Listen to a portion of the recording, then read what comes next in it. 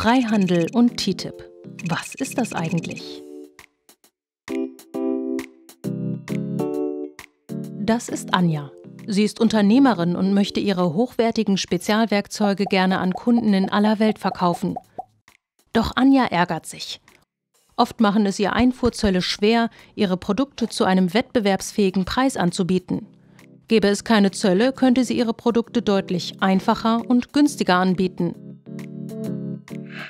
Zusätzlich erschweren noch andere, indirekte Hindernisse die Wettbewerbsfähigkeit von Anjas mittelständischem Unternehmen. Beispielsweise scheitert der Verkauf ihrer Werkzeuge in den USA bisher an den unterschiedlichen technischen Normen. Um die Werkzeuge auch in den USA anbieten zu können, müssen sie aus ganz bestimmten Materialien bestehen oder eine genau definierte Größe haben. Ganz anders sind die Anforderungen für den europäischen Markt. Die Herstellung der Werkzeuge für mehrere Länder ist also bisher mit sehr viel zeitlichem, technischem und personellem Aufwand verbunden. Für Großkonzerne ist das meistens einfacher als für Mittelständler.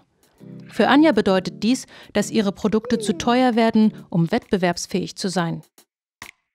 In den Medien hat Anja von TTIP, der transatlantischen Handels- und Investitionspartnerschaft, gehört.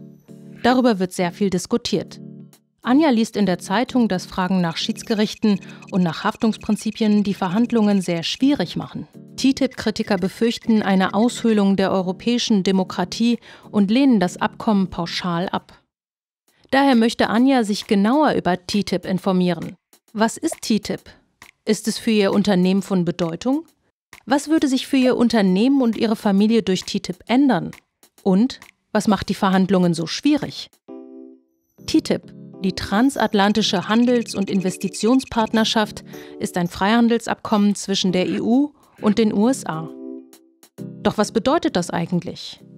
Für Anjas Unternehmen bedeutet ein Freihandelsabkommen den Wegfall der genannten Hindernisse. Es gibt keine Zölle mehr und die Normen werden angeglichen. So kann sie gleichzeitig kostengünstig Werkzeuge für den europäischen und amerikanischen Markt produzieren. Anja kann zu niedrigeren Preisen mehr verkaufen und wird daher zusätzliche Beschäftigte in ihrem Unternehmen einstellen. So wächst das Unternehmen und neue Arbeitsplätze entstehen. Dadurch steigen die Steuereinnahmen und der Staat kann mehr investieren, zum Beispiel in Bildung oder Infrastruktur. Vom Freihandel profitieren besonders kleine und mittelständische Unternehmen, diese stellen in Deutschland schon jetzt 60 Prozent der Arbeitsplätze. Mehr zum Thema finden Sie im Video Freihandel und TTIP, was sind die Chancen? Und auf der Webseite der Friedrich Naumann Stiftung für die Freiheit unter freiheit.org/freihandel.